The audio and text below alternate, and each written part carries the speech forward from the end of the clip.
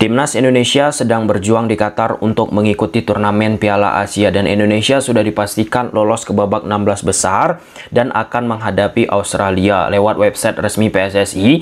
PSSI pun mengumumkan hasil tender hak siar tahun 2024 TV ataupun media mana nih yang akan menyiarkan pertandingan Timnas Indonesia. Sebelum lebih jauh, nggak pernah bosan-bosan untuk ingatkan teman-teman ketika teman-teman tonton video ini, jangan lupa tekan tombol like-nya. Sebelum masuk ke esensi pembahasan hasil hasil tender hak siar tahun 2024, pesaing timnas Indonesia khususnya di Asia Tenggara, Thailand teman-teman, ketika kita bicara hak siar timnas mereka ataupun sepak bola lokal mereka kebelakangan ini penuh akan dinamika. Yang terdekat saja untuk Piala Asia tahun 2023 yang berlangsung tahun 2024 di detik-detik terakhir baru itu ketahuan televisi ataupun media mana yang menyiarkan pertandingan timnas Thailand di Piala Asia.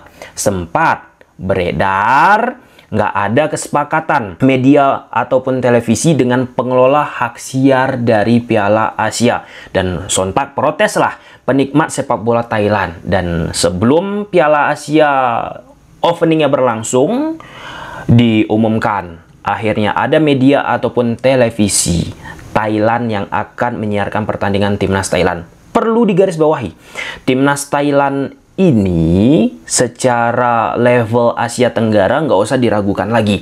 Dan mereka pun coba step up memikirkan target lebih jauh. Bagaimana bisa berprestasi banyak di level Asia. Dan untuk Piala Asia mereka lolos ke babak 16 besar secara meyakinkan. Baik-baik aja sepak bola mereka atmosfer iklim kompetisi mereka namun ada beberapa kebijakan-kebijakan dari pemerintah ataupun eh, masalah-masalah bisnis dari media ataupun televisi yang ada di Thailand membuat dinamika banyak terjadi di sepak bola Thailand. Soal dinamika, soal apa yang terjadi dengan eh, pemegang hak siar sepak bola yang ada di Thailand itu sudah berkali-kali kita bahas dan aku harap teman-teman scroll aja video ke bawah atau search uh, dengan keyword Tommy Deski hak siar Liga Thailand hak siar sepak bola Thailand. Nanti akan tampil videonya.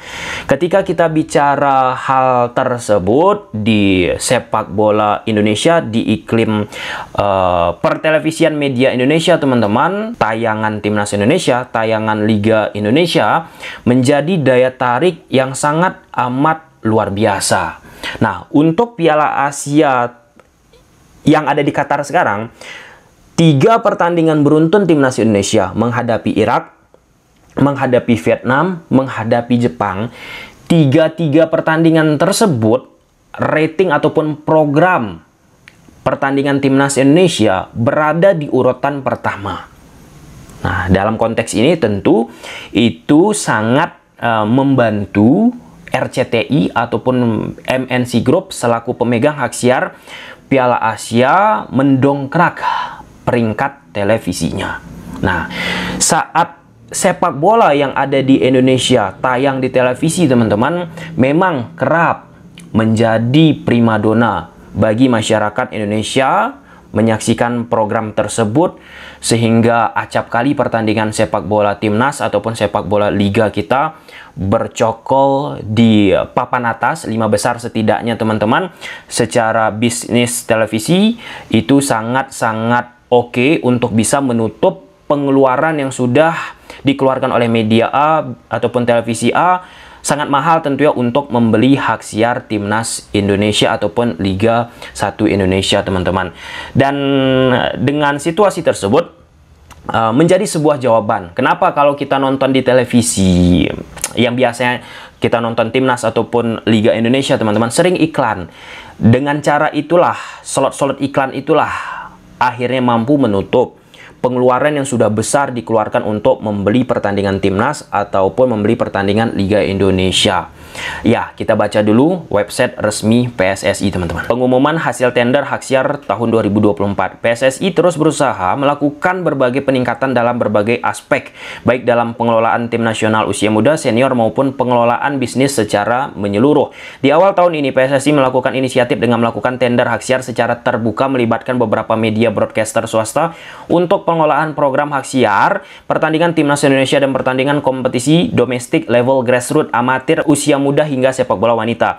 Dalam usaha untuk membangun sepak bola Indonesia yang profesional, transparan, dan akuntabel, PSSI resmi mengumumkan pemegang hasil pengelolaan program hak siar pertandingan timnas Indonesia dan pertandingan kompetisi domestik PSSI di luar Liga 1 dan Liga 2. PSSI menunjuk PT Elang Mahkota Teknologi TBK MTEK melalui PT Surya Citra Media TBK SCM sebagai pemegang tender hak siar media right untuk tahun 2024. Nilai kerjasama mencapai 75 miliar Nilai ini lebih tinggi jika dibandingkan dengan nilai hak siar tahun 2023 sebesar 56 miliar teman-teman. Key aku suka banget ya transparansi yang dilakukan oleh PSSI eranya Erick Thohir teman-teman terlihat dari angka yang mau dipublikasikan. Ya mungkin kalau kita bicara dulu-dulu agak tertutup ya, ya tanpa mengurangi rasa hormat uh, dengan situasi apa yang terjadi di masa lalu. Dengan transparansi ini kan kita tahu berapa nilai hak siarnya, berapa nilai kontraknya, sehingga uh, nilai tersebut ya secara normalnya harusnya bisa dimanfaatkan oleh PSSI dalam mengembangkan keperluan-keperluan program-program proyek-proyek yang dimiliki oleh PSSI. Selain nilai hak siar terdapat beberapa kriteria lain yang kami nilai setelah melakukan serangkai pertimbangan internal di PSSI. Salah satunya adalah add value berupa program dan konten khusus yang bermanfaat bagi masyarakat yang ditawarkan oleh pemegang eh, oleh pemenang tender ini. Kami tidak hanya berfokus pada nilai dan pertandingan timnas Indonesia, tapi kami juga melihat hal-hal lain yang ditawarkan oleh para peserta tender yang dapat menjadi nilai tambah bagi pengelolaan pertandingan secara keseluruhan di PSSI.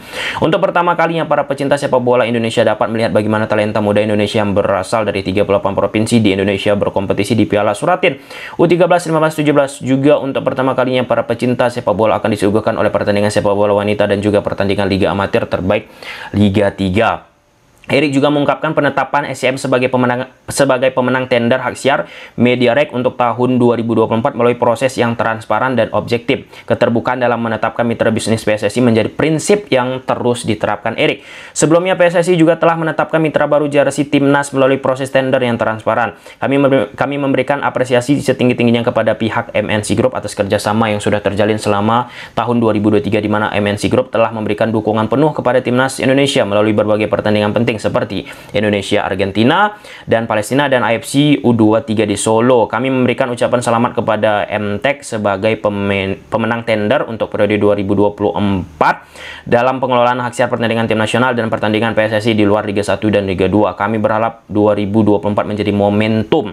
Saat ini timnas akan melanjutkan perjuangan untuk dapat memberikan prestasi dan suguhan pertandingan terbaik baik di level ASEAN, Asia, dan juga dunia. Aku nggak bicara siapa yang lebih baik, siapa yang lebih enak, apakah MTech ataukah MNC Group. Tapi kita bicara bagaimana daya pikat program ataupun pertandingan timnas Indonesia ketika ditayangkan di televisi yang normalnya kebelakangan ini sejak coach Shin Taeyong melatih timnas Indonesia banyak sekali yang menonton dan akhirnya mendongkrak rating televisi program pertandingan timnas Indonesia. Dan ini sering aku temukan khususnya pada saat eranya Coach Shin di mana penikmat sepak bola Indonesia kita, pecinta sepak bola Indonesia kita, sering nggak sabar menyaksikan pertandingan timnas Indonesia saat dilatih oleh Coach Shin. Artinya, suguhan penampilan hasil yang diberikan oleh Coach Shin sudah memikat, sudah dalam tanda petik ya, sudah uh, memberikan sebuah mindset kepada penikmat sepak bola Indonesia kita bahwa timnas Indonesia bisa uh, memberikan sesuatu yang lebih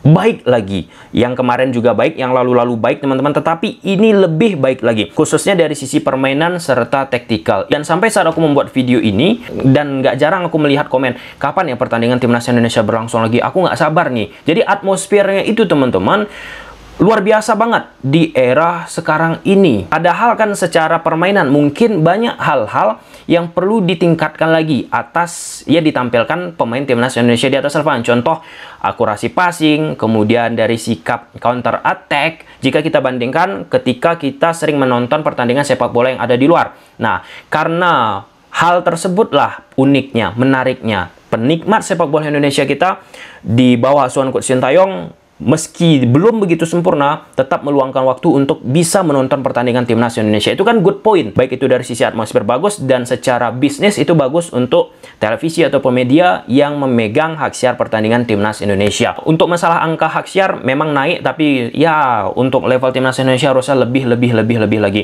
Seiring berjalannya waktu dengan timnas Indonesia terus meningkat permainan prestasi ya teman-teman ranking FIFA-nya ya akan datang dengan sendirinya angka pun terus-menerus pasti akan melonjak. Gimana menurut teman-teman? Coba silahkan tulis di kolom komentar. Bye.